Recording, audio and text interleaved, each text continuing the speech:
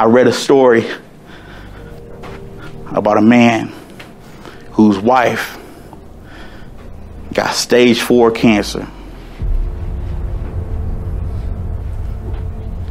And she was in the hospital, I think it was like for three months. And every day he would go to the hospital and he would sit with her and just talk to her. I love you. I don't care about your condition. I don't care about the pain. I don't care. You lost your hair. The doctor's giving you only a few months to live. I still.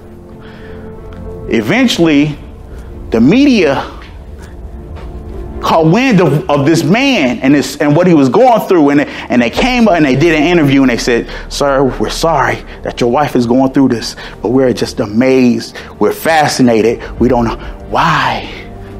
What keeps you going? What makes what gives you the strength to do this? Why haven't you gone to, to remarry or why haven't you started to, to begin plans to move on with your life and start to establish a new life and he's sitting there and he's talking and he's talking to the, the media and he's telling them, you know, yeah, I, I, think back to when we were married. Now I think back to to the vows that we took, and I said I do, and I said till death do us part. The, the reporter crying, and he said something that still sticks with me. Like most people that get married say I do only once. But you don't make it 40 years in a marriage by saying I do on the day you get married. You make it 40 years by saying I do every single day. Even when you don't feel like it, you say I do. Even when she cussed you out, you say I do. Even when she she give you the divorce papers, because yeah, I messed up, I cheated you still say, I do. You ain't leaving me because I love you. I'm a change.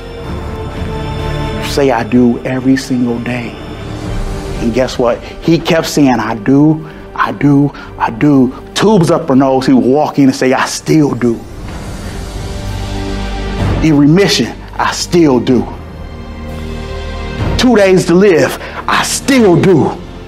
Funeral, I still do.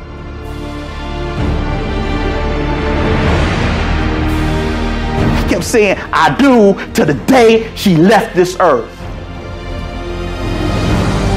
Why do I share that with you? Because guess what? Life is going to look like that one day. Life is going to be like that one day. Life is going to feel like, man, life have cancer right now? Because I feel like I'm just, man, too much pressure. I can't stand the heat. Ah, I gotta go. To be honest, the game of basketball is going to look like that one day where you're faced with a moment to say, man, the game ain't as sexy as it used to be to me. It, it, doesn't appeal to me as it. I remember when I said I do to the game of basketball, but then it got hard now. It's hard. And I don't know if I'm ready to, I don't know. I don't know if this is really what I want.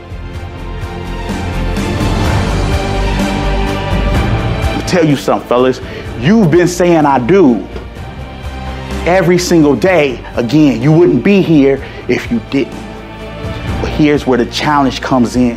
There's going to be moments where you start to doubt yourself and you look at the game and you get frustrated and you start to question, man, is this really what I want? There's one thing I want you to remember. Remember when you said I do.